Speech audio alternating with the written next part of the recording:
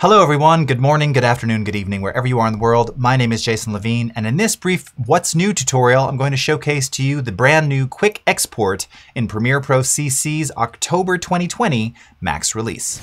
All right, so we're in Premiere Pro, and um, Quick Export is just that. It's just an easier way for you to quickly export a version of your video directly from the timeline without having to go to Media Encoder, without having to deal with all of the codecs and settings and just a lot of the things that most people generally just don't need to do. This is really for social sharing. If you use Premiere Rush, it functions in the exact same way. Let's showcase it to you.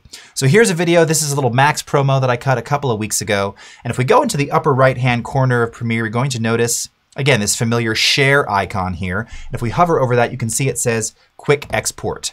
And when I click on Quick Export, it's very simple. It's going to ask you for where do you want this to go. You'll see that it's generating an MP4, again, suitable for social sharing. And then if we click down on the preset here, it's just going to give you a couple of options based on the content in your timeline.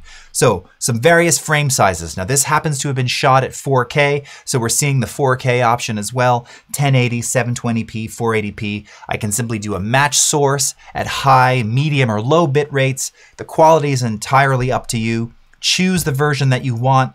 It'll tell you, again, in advance, all the various attributes here. So it's H.264, 1080p, 23976. That's going to be 20 megabits. It's 58 seconds in stereo. Estimated size 148 megs. Where is it going? It's going into my project file here. Export, and that's it. So simple. So easy. You never have to go into Media Encoder, and it's wickedly fast. You can see there, the video was exported successfully. Boom, and you're done. Finished.